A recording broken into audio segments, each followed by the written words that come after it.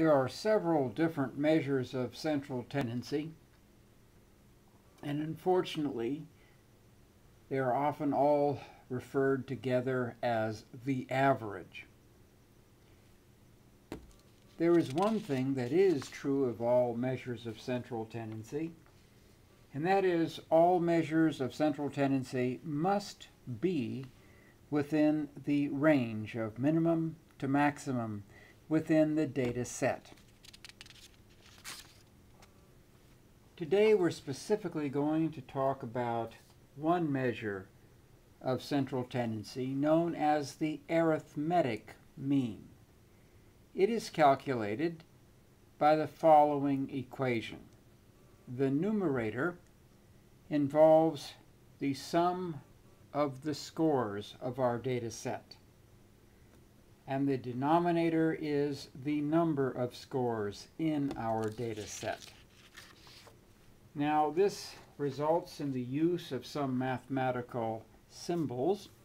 This Greek sigma letter stands for the sum of the scores within a data set. The letter N stands for the number of scores in the data set. So let's take a look at some examples. Here we have a rather small data set. And before we do anything with it to come up with the mean, let's remember to take a look at our range of minimum to maximum. The lowest anyone scored was an 8. The highest anyone scored was a 10.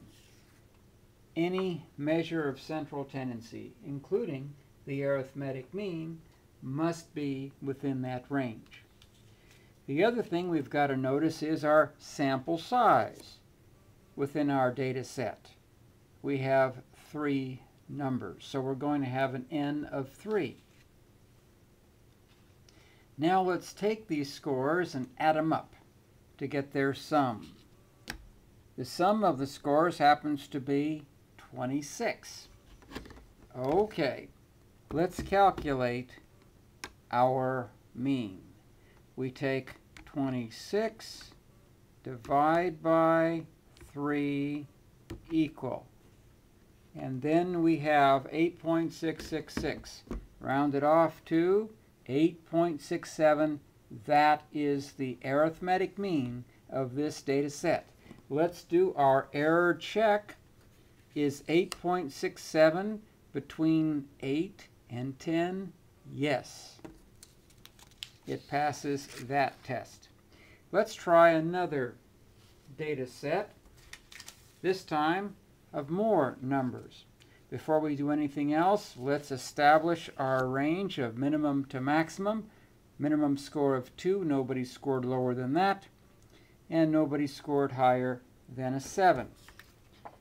Now let's count how many scores there are. And this gives us our n of 4.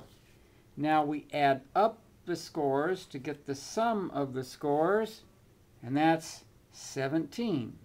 Okay, we're now ready to do the calculation. 17, which is our sum of the scores divided by our sample size of 4 equals 4.25. 4.25 is the arithmetic mean of this data set. Now before we go any further, let's do that error check. Look at the minimum, look at the maximum. Yes, the mean is between the minimum and the maximum. So that's how we calculate the arithmetic mean. The sum of the scores divided by the number of scores. A measure of central tendency.